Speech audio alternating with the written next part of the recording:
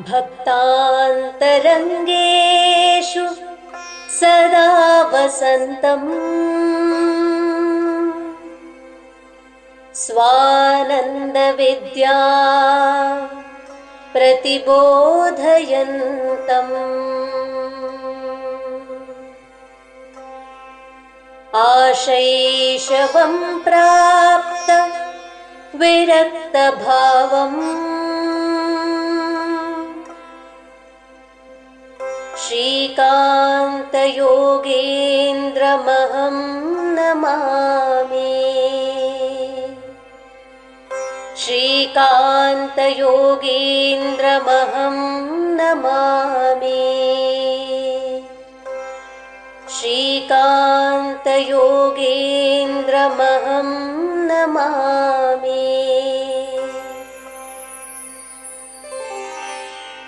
ನಾನೊಂದು ಮಗು ಮಗುವಾಗೇ ಇರ್ತೀನಿ. ಅವಧೂತ ಗುರುವಿನ ಮೂರು ಪ್ರಕಾರಗಳಾದ ಬಾಲ, ಉನ್ಮತ್ತ, ಪಿಶಾಚ ಎಂಬುವುಗಳಲ್ಲಿ ಬಹು ಅಪರೂಪವಾಗಿ ಸಿಗುವುದು ಬಾಲಸ್ಥಿತಿ. ಆ ಕಾಲವೊಂದಿತ್ತು ದಿವ್ಯ ತಾನಾಗಿತ್ತು. ಬಾಲ್ಯದ ಸವಿಯನ್ನು ನೆನೆಸುವ ಕವಿವಾಣಿ ಒಂದಿದೆ.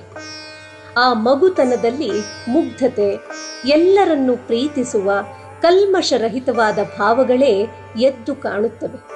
ಹಾಗಾಗಿಯೇ ಮಗುವನ್ನು ಎಲ್ಲರೂ ಮುದ್ದಿಸುವುದು, ಪ್ರೀತಿಸುವುದು, ಆರಾಧಿಸುವುದು. ಅವಧೂತ ಸದ್ಗುರು ಶ್ರೀಕಾಂತ ಗುರೂಜಿಯನ್ನು ನೋಡಿದಾಗ ಮೇಲಿನ ಎಲ್ಲ ಅನುಭವಗಳು ಅರಿವಿಗೆ ಬರದಿರದು. ಮಾನ, ಅಪಮಾನಗಳು, ಹೊಗಳಿಕೆ, ತೆಗಳಿಕೆಗಳನ್ನು ಅರಿವಿಗೇ ತಂದುಕೊಳ್ಳದೆ ತಮ್ಮದೇ ಆದ ನಿತ್ಯ ಸತ್ಯ ಆನಂದದಲ್ಲಿರುವ ಅವರ ರೀತಿ ನೀತಿಗಳು ಎಲ್ಲರನ್ನೂ ತಾಯಿಯಂತೆ ಪ್ರೀತಿಸುವ ಅವರ ಸ್ಥಿತಿಯನ್ನು ಕಂಡ ಪ್ರೀತಿಯೇ ಈ ಜೀವನದ ಆಧಾರ. ಅದರ ಸುತ್ತಲೇ ಎಲ್ಲ ನಿಂತಿರುವುದು. ಅಲ್ಲಿ ನಿಷ್ಕಲ್ಮಶತೆ, ನಿರ್ವ್ಯಾಜತೆ, ನಿರಹಂಕಾರಗಳು ತಾನೇ ತಾನಾಗಿ ತಾಂಡವವಾಡಿದಾಗ ದೈವಿ ಪ್ರೇಮದ ಸಾಕಾರವಾಗುವುದನ್ನು ಗುರೂಜಿಗಳ ಪದತಲದಲ್ಲಿ ಅನುಭವಿಸಿದವರು ಅನೇಕ. ತಾನಿರುವ ಸ್ಥಿತಿಯಲ್ಲಿಯೇ ಎಲ್ಲಿದ್ದರೂ ಹೇಗಿದ್ದರೂ ಏನೂ ಇಲ್ಲದಿದ್ದರೂ ಆನಂದಮಯ ಸ್ಥಿತಿಯಲ್ಲಿದ್ದು, ತನ್ನ ಬಳಿ ಬಂದವರಿಗೂ ಅದನ್ನೇ ಉಣಿಸುವ ಇಂತಹ ಸದ್ಗುರುಗಳು ಇಂದು ಅಪರೂಪವೇನು. ಊಟ ತಿಂಡಿಗಳ ವಿಚಾರದಲ್ಲೂ ಅಷ್ಟೇ ನಿರ್ಲಿಪ್ತರಾಗಿದ್ದರೂ ಶಿಷ್ಯರ ಮನ ನೋಯಿಸದಿರಲು ಅವರ ತೃಪ್ತಿಗೆ ಒಂದು ಸ್ವಲ್ಪ ಸೇವಿಸುವ ಯಾರಿಗೂ ನೋಯಿಸದ ಇವರ ರೀತಿ ಅರಿತವರಿಗೆ ಗೊತ್ತು.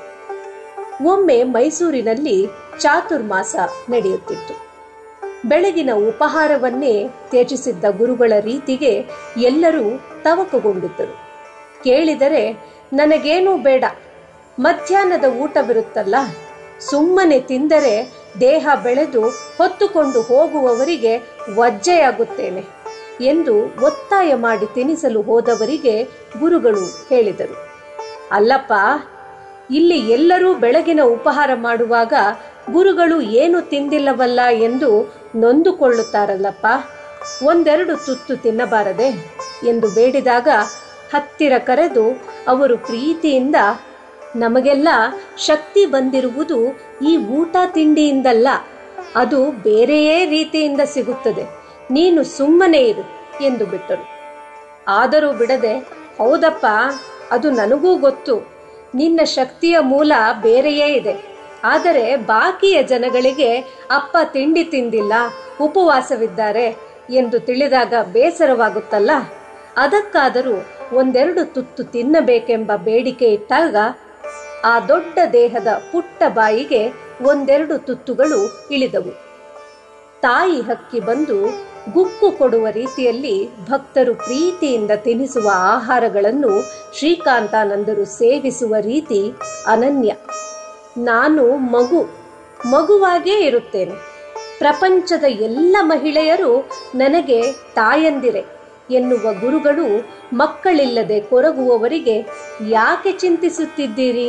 ನಾನು ನಿಮ್ಮ ಮಗನಿದ್ದೇನೆ, ಚಿಂತಿಸಬೇಡಿ ಎಂದು ಅಭಯ ನೀಡುವುದೂ ಇದೆ. ಅತಿಯಾಗಿ ಒತ್ತಾಯ ಮಾಡಿದಾಗ ಮಗುವಿನಂತೆ ಮುನಿಸಿಕೊಂಡು ಅತ್ತ ತಿರುಗಿ ಬಿಡುವುದೂ ಇದೆ. ಮಗುವಿನ ಮನಸ್ಸು ಅರಿತು ತಾಯಿ ಉಣಿಸುವ ಪರಿಯಲ್ಲೇ ಆಹಾರ ನೀಡಿದರೆ ಮಾತ್ರ ಆಹಾರ. ಇಲ್ಲ, ತಿಳಿಯದೆ ವ್ಯತಿರಿಕ್ತ ರೀತಿಯಲ್ಲಿ ಆಹಾರ ತಂದಾಗ ಒಂದೆರಡು ತುತ್ತು ತಿಂದು ಸೂಪರ್ ಆಗಿತ್ತು ಸಾಕು. ಹೊಟ್ಟೆ ತುಂಬಿತು. ಎನ್ನುತ್ತಾ ಯಾರಿಗೂ ಬಿರು ನುಡಿಯಾಡದೆ ಸ್ವತಃ ಉಪವಾಸವಿದ್ದು ಬಿಡುವುದು ಇವರ ರೀತಿ. ಶ್ರೀ ವೆಂಕಟಾಚಲ ಅವಧೂತರ ಕುರಿತಾದ ಪುಸ್ತಕ ಸದ್ಗುರುನಾಥ ಲೀಲಾಮೃತ. ಎರಡು ಸಾವಿರದ ಹದಿನಾರರ ಮೇ ಹದಿನೈದರಲ್ಲಿ ಹಾಸನದಲ್ಲಿ ಬಿಡುಗಡೆಯಾಯಿತು. ನನ್ನನ್ನು ಕರೆದು ಇನ್ನು ಮೂರು ತಿಂಗಳಲ್ಲಿ ಶ್ರೀಕಾಂತಾನಂದ ಲೀಲಾಮೃತವನ್ನು ಮೊದಲ ಪುಸ್ತಕವಾಗಿ ನೀನೇ ಬರೆಯಬೇಕು ಎಂದರು. ಗುರುಚಿತ್ತ, ನಮ್ಮಿಂದೇನು ಸಾಧ್ಯ? ಪುಸ್ತಕ ಬರೆಯುವ ಕೆಲಸ ಅರ್ಧದಷ್ಟಾಗಿತ್ತು. ಗುರುನಾಥರ ಶಿಷ್ಯರು, ಸಾಧಕರೂ ಆದ ಒಬ್ಬ ಗುರುಭಕ್ತರ ಬಳಿ ಹೋಗಿ ಕೆಲವು ವಿಚಾರಗಳನ್ನು ಸಂಗ್ರಹಿಸಲು ಪ್ರಯತ್ನಿಸಿದೆ. ಗುರುನಾಥರು ಅವರಿಗೆ ಅದೇನು ಆಜ್ಞೆ ಮಾಡಿದರೋ ಏನೋ. ತಡೀರಿ, ನಾನು ಮಾತನಾಡುತ್ತೇನೆಂದು ದೂರವಾಣಿಯಲ್ಲಿ, ಗುರುಗಳೇ, ನೀವು ಸ್ವಯಂ ಪ್ರಕಾಶಿತರು. ಪ್ರಕಾಶಕರ ಪುಸ್ತಕಗಳಿಂದ ನೀವು ಬೆಳಗಬೇಕೇ ಎಂದಾಗ ಅತ್ತಲಿಂದ ಬಂದ ಉತ್ತರ, ಹೌದಾ ಗುರುಜಿ? ಹಾಗಾದರೆ ಈಗ ಬೇಡವೇ? ಅವರಿಗೆ, ಬರೆಯುವುದು ಬೇಡ, ನಿಲ್ಲಿಸಿ ಎಂದು ಹೇಳಿಬಿಡಿ ಎಂದು ನಿರ್ವಿಕಾರವಾದ ಉತ್ತರ ಬಂದಿತು. ಪುಸ್ತಕವು ನಿಂತು ಹೋಯಿತು. ಆದರೆ ಸದ್ಗುರು ಶ್ರೀಕಾಂತರ ಕೀರ್ತಿ ದಿಗ್ದಿಗಂತಕ್ಕೆ ಹರಡುತ್ತಾ ಭಕ್ತರ ದಂಡು ಬೆಳೆಯಿತು. ಸಂತ್ರಸ್ತರ ನೋವಿಗೆ ಆಸರೆ ಸಿಕ್ಕಿತು. ಇದಾದ ಕೆಲ ದಿನಗಳಲ್ಲಿ ಹೊಸದುರ್ಗಕ್ಕೆ ಕರೆಸಿದ ಗುರುಗಳಲ್ಲಿ ಬರೆದ ಪುಸ್ತಕದ ಕೆಲ ಭಾಗಗಳನ್ನು ಅವರ ಮುಂದೆ ಓದಿದೆ. ಸೂಪರ್ ಆಗಿದೆ ಎಂದಾಗ, ಅಪ್ಪ, ಪುಸ್ತಕ ನಿಲ್ಲಿಸಿದ್ದಕ್ಕೆ ಬೇಜಾರಾಯ್ತಾ? ಎಂದು ಸಾಮಾನ್ಯನಂತೆ ಕೇಳಿದಾಗ ನಗುತ್ತಾ, ದತ್ತಣ್ಣ, ಪುಸ್ತಕ ನಿಂತಿದ್ದಕ್ಕೆ ನಿನಗೆ ಬೇಜಾರಾಗಲಿಲ್ಲವೇ? ಮುಂದೆ ಕಾಲ ಬಂದಾಗ ನಿನ್ನ ಕೈಯಲ್ಲೇ ನನ್ನ ಪುಸ್ತಕ ಬರೆಸುತ್ತೇನೆ. ಬೇಜಾರಾಗಬೇಡ, ಎಂದರು. ಐದು ವರ್ಷಗಳೇ ಕಳೆದಿವೆ. ಮೊನ್ನೆ ಅದ್ದೂರಿಯಿಂದ ಶ್ರೀಕಾಂತ ಗುರುಗಳ ಪುಸ್ತಕ ಅವರ ಜನ್ಮ ದಿನೋತ್ಸವದಂದು ಚಿತ್ರದುರ್ಗದಲ್ಲಿ ಬಿಡುಗಡೆಯಾಯಿತು.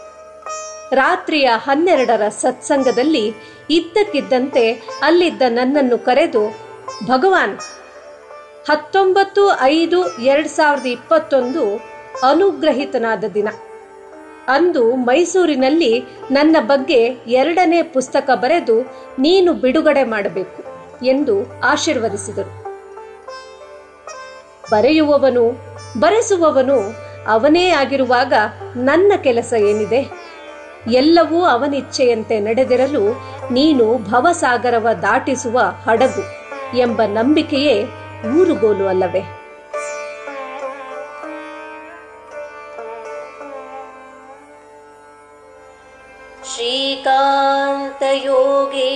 श्रीकान्तयोगेन्द्रमहं नमामि